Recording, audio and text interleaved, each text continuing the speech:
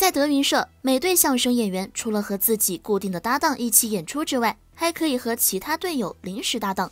这样的混搭有时候还会给观众带来耳目一新的感觉。但是和别人的搭档往往都是暂时的，更多的时候还是原配搭档之间相互合作。但有一个人就成了例外，虽然他也有自己的固定搭档，但在小剧场演出却常常和别人搭在一起。这个人就是七队队长孟鹤堂的搭档周九良。孟鹤堂通过各种综艺节目大火，如今在小剧场演出的机会越来越少了。作为他的搭档，周九良除了跟他一起上节目之外的时间，还是要去小剧场演出。但由于孟鹤堂的时间有限，他只能和别人搭在一起。在近期的节目单，周九良一周要演出十三场，基本上每天还是和不同的演员一起合作。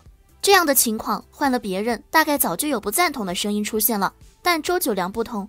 德云社很多演员们都希望和周九良有一场合作，这是为什么呢？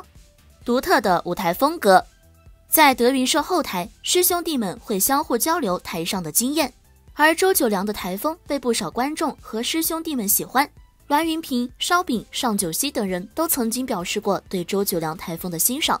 在德云社团中，德云逗笑社中，孟鹤堂、秦霄贤和烧饼三人还共同争夺过和周九良合作的机会。由此可见，周九良是个抢手的捧哏。郭德纲曾经说过，之所以周九良的艺名叫良，是因为他的各方面表现都是优良的，挑不出大错的。这样的评价在所有德云社演员中都是少有的。和孟鹤堂搭档以后，他在不断的舞台表演中形成了自己一语致死的舞台风格，获得了很多粉丝的喜爱。有观众认为他的舞台风格是设计好的，只有真正了解他的忠实观众才知道。他在台上就是话少的，他的沉稳和孟鹤堂的欢脱台风相互补充，形成了他们独特的风格，也在不断的经验积累中丰富了自己的表演内涵。这正是因为他台上沉稳的风格，粉丝们都叫他小先生。今年刚刚二十七岁的他，有时候成熟的像个老艺术家。搭档和师傅都说过，生活中的他和台上的他差别大。也许是因为接触相声的时候他年纪很小。这么多年站上台就不自觉地表现成熟稳重的那一面。从另一个方面想，如果他在台上和孟鹤堂一样欢脱，说不定就不会有这么多观众喜欢他们的相声表演。同样，作为捧哏的栾云平曾经说过：“最好的捧哏就是你听完这段相声记不起来他是谁。”周九良自藏锋芒，显然做到了这个效果，找到了最适合他的舞台风格，多才多艺。他在德云社深受众多师兄弟们喜爱，还有一个更重要的原因是他多才多艺。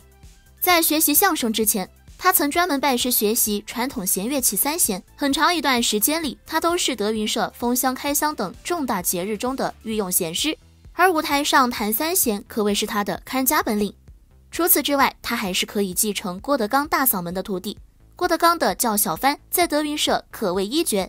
而在他众多的徒弟中，只有周九良唱的叫小帆最有郭德纲原版的味道。一进公知到领间，不由得问公细心间，站立公安门叫小帆。年纪轻轻的他接触的东西大都是传统文化。他和郭德纲最大的相似之处就是两个人都钟爱戏曲。孟鹤堂还说，在生活中，周九良几乎不听流行歌曲。也许正是因为这样的原因，让他在舞台上比起别人更加游刃有余。在所有人都在接触新东西变得浮躁的时候，年轻的周九良却可以有不同于这个年龄该有的沉稳。他还有一句至理名言是“非不能也，实不为也”，短短八个字说明了自己的底线和态度。他一直把自己摆正在捧哏的位置上，不管合作对象是谁，都会最大限度配合对方完成作品的表演。带来极好的舞台效果，或许这就是德云社众多师兄弟们都希望能够和他有一次合作的原因。你们觉得是这样吗？